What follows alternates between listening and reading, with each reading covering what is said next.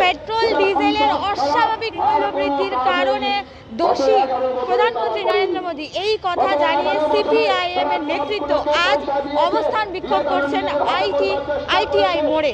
আমরা সেই আইটিআই মোড় থেকে আপনাদের সরাসরি দৃশ্য দেখাচ্ছি জিবিএনএন এর প্রত্যেকে স্বাগত সঙ্গে আমি নিবেদিতা। একবার দৃশ্য আপনাদের সামনে তুলে ধরবো। ডিজেল, পেট্রোল, রান্নার গ্যাস ভেজ্য তেল যেভাবে অস্বাভাবিক দাম বৃদ্ধি পাচ্ছে এবং নিত্য প্রয়োজনীয় জিনিসের যেভাবে অস্বাভাবিক মূল্য বৃদ্ধি, সেই মূল্য বৃদ্ধির বিরুদ্ধে আজ ডাবগ্রাম এরিয়ার যে সিপিআইএম এর যারা সদস্য রয়েছে, তাদের পক্ষ থেকে অবস্থান বিক্ষোভ করা হচ্ছে। সেই অবস্থান বিক্ষোভের সরাসরি দৃশ্য কিন্তু আমরা তুলে ধরলাম। প্রতি বছর এসএসসির মধ্যে দিয়ে সেটা কোনো সময় ত্রিশ হাজার কোনো সময় দশ হাজার কোনো সময় আপনারা জানিয়ে রাখি ডিজেল পেট্রোল রান্নার গ্যাস ভাজ্য তেল সহ নিত্য প্রয়োজনীয় জিনিসের অস্বাভাবিক মূল্য বৃদ্ধির বিরুদ্ধে সিপিআইএম ডাবগ্রাম এক নম্বর এরিয়া কমিটির পক্ষ থেকে আজ এই অবস্থান বিক্ষোভ করা হচ্ছে।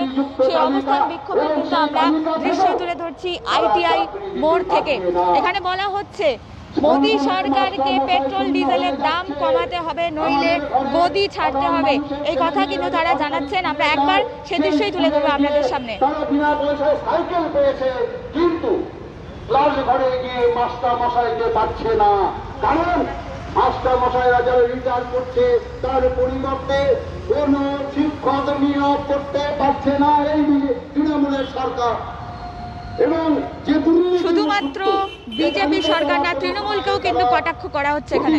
করেছে সেই দুর্নীতিযুক্ত তালিকাতে যখনই শিক্ষক যারা করতে চায় তারা যখন কোর্টে গিয়েছে তখন দেখা যাচ্ছে কি তারা দুর্নীতি করছে এটা প্রমাণিত হয়েছে।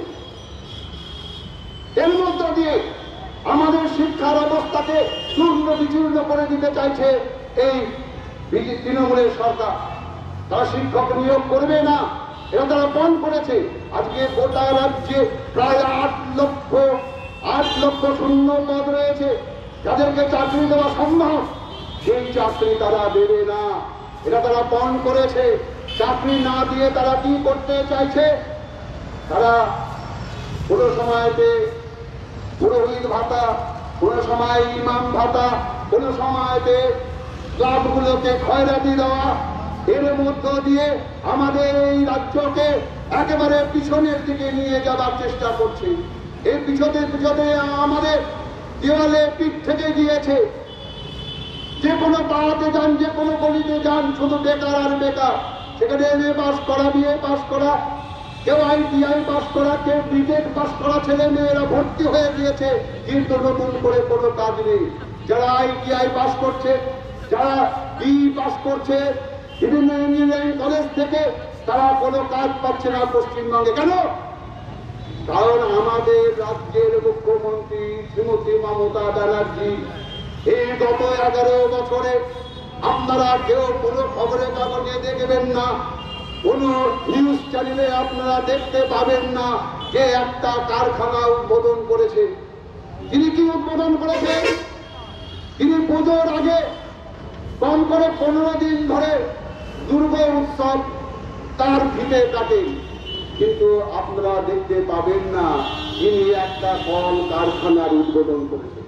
কারণ কারণ আমরা জানি যে তিনি কল কারখানাকে আমাদের রাজ্য থেকে উৎখাত করে, উৎখাত করার মধ্য দিয়ে এই সরকারে এসেছিল এবং যে জমি বিবাদকে কেন্দ্র করে তারা এই সরকারে এসেছে। তা থেকে তারা সরে আসতে পারছে না। ফলে এই এগারো বছরের মধ্যে আমরা একটিও বড় কল কারখানা আমাদের রাজ্যে আমরা নতুন করে খুলতে দেখিনি। তার সঙ্গে সঙ্গে আমরা কি দেখেছি? অনেক পুরাতন কল কারখানা শুধুমাত্র তৃণমূলে গুন্ডাবাজির কারণে বন্ধ হয়ে গিয়েছে। আর যারা এই গুন্ডাবাজি করেছে, তাদেরকে আমরা কি দেখতে পাচ্ছি? তারা তাদেরকে দেখতে পাচ্ছি, আজকে তৃণমূল ছেড়ে দিয়ে তারা আজকে বিজেপির কাঁধে হাত মিলাচ্ছে। তার অন্যতম উদাহরণ শুভেন্দু অধিকারী। আপনারা জানেন, পশ্চিমবঙ্গের বামপন সরকার সময়কালে হলদিয়াতে পেট্রোকেমিক্যাল কারখানা তৈরি হয়েছিল। সেই পেট্রোকেমিক্যাল কারখানাতে হাজার হাজার লোকের চাকরি হয়েছিল এবং আরও চাকরি হওয়ার সুযোগ সম্ভাবনা ছিল। আমরা কি দেখলাম? শুভেন্দু অধিকারী আজকে বিজেপির নেতা হয়েছে।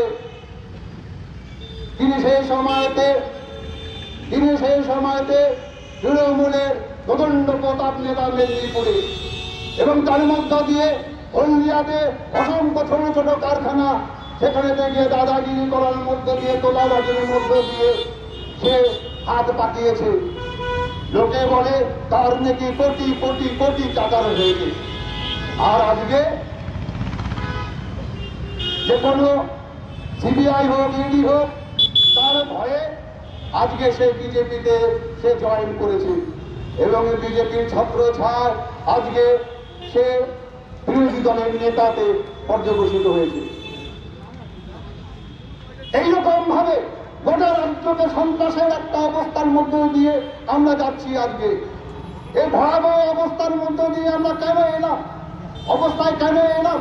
শুধুমাত্র বিজেপি এবং তার সঙ্গে তৃণমূল, এই দুয়ের যে সমস্ত নীতি তারা সরকারে এসে নিয়েছে, তার ফলে আমাদের রাজ্যে নতুন করে একদিকে শিক্ষক নিয়োগ হচ্ছে না, নতুন করে কলকারখানা হচ্ছে না, আর পাশাপাশি পেট্রোল, ডিজেল, সর্ষের তেল, আলু, পেঁয়াজ, সমস্ত কিছুর দাম হচ্ছে। স্বাভাবিক কারণে আজকে সাধারণ মানুষ কিছু বলতে চায়, সাধারণ মানুষ প্রতিবাদ করতে চায়, তাই আমরা আজকে এখানে অবস্থান করছি। আর আমাদের এই সিপিআইএমের নেতৃত্বে আমাদের যে অবস্থান শুধুমাত্র এখানে নয়, গোটা রাজ্যে আজকে অবস্থান করছে। আমরা এটা লক্ষ্য করেছি, যখনই সাধারণ মানুষ এককভাবে বা কোনো জায়গাতে দলবদ্ধভাবে কোনো রকমের প্রতিবাদ করেছে, তাদেরকে ভয় দেখানো হয়। তাদেরকে কীরকম পুলিশের ভয় দেখানো হয়। পুলিশকে দিয়ে মিথ্যা মামলা করা হয়। আমরা দেখছি একের পর এই একের পর এক এইরকম মিথ্যা মামলা হওয়ার কারণে প্রতিবাদী স্বরগুলোকে তারা ভাঙিয়ে দেওয়ার চেষ্টা করছে, বন্ধ করে দেওয়ার চেষ্টা করছে। গতকাল যে আন্দোলন করেছিল এই সরকারের বিরুদ্ধে, আজকে দেখছি সে তৃণমূলের ঠান্ডা নিয়ে যাচ্ছে। কেন?